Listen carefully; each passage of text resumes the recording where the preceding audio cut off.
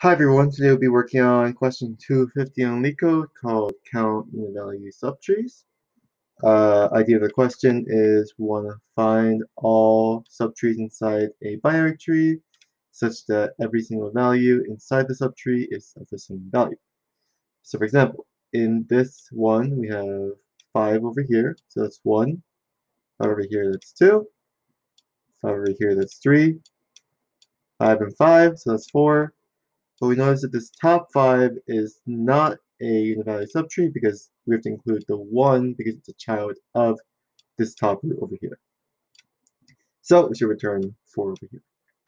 Okay, so let's start working. Uh, probably want to do a DFS down a path.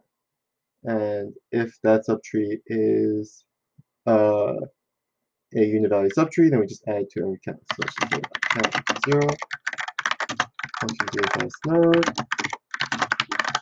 a standard DFS function. We say if is unival node, and also pass the node.val to compare to every other node inside that path. One, two, infinite count. Do the same thing for every other node. One, two, count. Cool. So now for our is unival function, we take the node and value. First off, if there is no node, we always return true. It's an edge case. Next, if it's a leaf, so if there's no left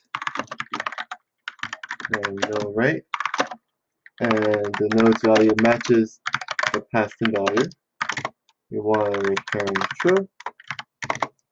And finally, let's talk about the uh, last edge case where we just check the left and right subtrees recursively. So return node value equals value and the uh, left and right subtrees. So is val node left the value and it's unival node right the value. And uh, DFS. So DFS root. Let's see if it works. So works just fine. Let's run it. Cool, works just fine. So let's go through this code one more time. Uh, okay, so we're going to do a standard DFS to visit every single node inside the tree. Um, for every single node, we're going to uh, pass in this function called is unival. Is unival is going to check three conditions. If it's a null value, if it's a leaf and the value matches, or if the value matches and the left subtree and the right subtree recursively also match. So in any of these cases, if these are true, then we increment the count. So let's submit it. Yep, works just fine.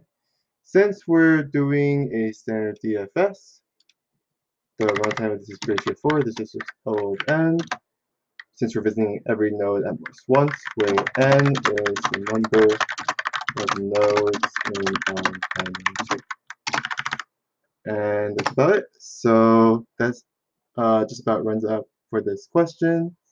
I'll be adding a link to the question as well as my GitHub down below. I'll see you guys next time.